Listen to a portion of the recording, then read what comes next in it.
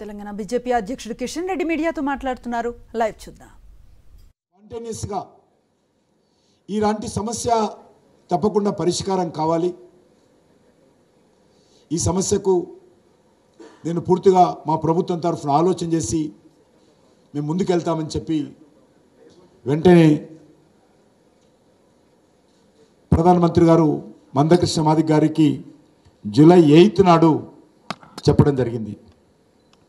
ఆ తర్వాత మళ్ళీ అక్టోబర్ సెకండ్ నాడు హోమ్ మినిస్టర్ ఆఫ్ ఇండియా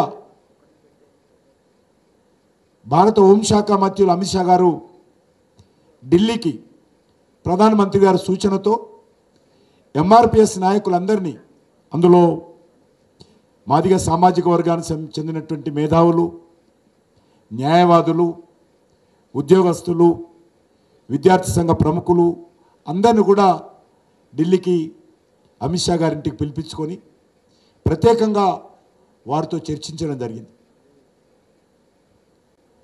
ఆ సమావేశంలో అనేక వివరాలు ఈ యొక్క మాదిగ సామాజిక వర్గం చెందినటువంటి మేధావులు ఉద్యమకారులు అక్టోబర్ సెకండ్ నాడు ఢిల్లీలో ప్రధానమంత్రి గారి మన హోంమంత్రి గారు చెప్పడం జరిగింది.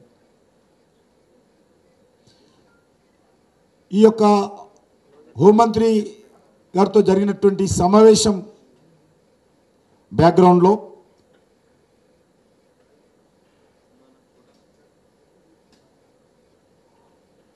కేంద్ర ప్రభుత్వము ఈ యొక్క కేటగరైజేషన్ కేసు వర్గీకరణ కేసు విషయంలో ఎందుకంటే దీనికంటే ముందు ఒకటి మీకు వివరిస్తాను. సుప్రీంకోర్టు రెండు తీర్పులు ఇవ్వడం జరిగింది. ఒక తీర్పు ఫస్ట్ ఐదుగురు బెంచ్తో కూడినటువంటి తీర్పు వర్గీకరణ అవసరం లేదు అని తీర్పిచ్చింది. ఆ తర్వాత మరొక కేసులో అదే సుప్రీంకోర్టు చెందినటువంటి ఐదుగురు బెంచీస్ ఇది కేటగరేషన్ అవసరమని చెప్పడం జరిగింది. పరస్పర విరుద్ధంగా ఫైవ్ బెంచెస్ వద్దని ఐదుగురు బెంచ్తో కూడినటువంటి సుప్రీంకోర్టు కావాలి ఇది నెసెసిటీ ఇది అవసరం అని చెప్పడం జరిగింది. అప్పుడు వాళ్ళు చెప్తూ మన అందులో సెకండ్ టైం ఇచ్చినటువంటి అవసరమని చెప్పినటువంటి బెంచెస్ ఏం చెప్పిందంటే ఐదుగురు న్యాయవాదులు వద్దన్నారు. మేము ఐదుగురితో కూడినట్టు న్యాయవాదులను కావాలంటున్నాము. కాబట్టి ఇది సమమైంది. కాబట్టి మేము సీజన్ కోరుతున్నాము.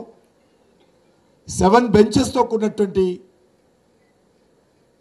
రాజ్యాంగ ధర్మాసనం ఏర్పాటు చేయాలి అని చెప్పి ఆ అనుకూలమైనటువంటి అనుకూలంగా చెప్పినటువంటి సుప్రీంకోర్టు బెంచి ఇదొక మళ్ళీ ఏడుగు బెంచ్తో కాన్స్టిట్యూట్ చేయాలని చెప్పి సీజేకు వాళ్ళు రిఫర్ చేయడం జరిగింది. కేసు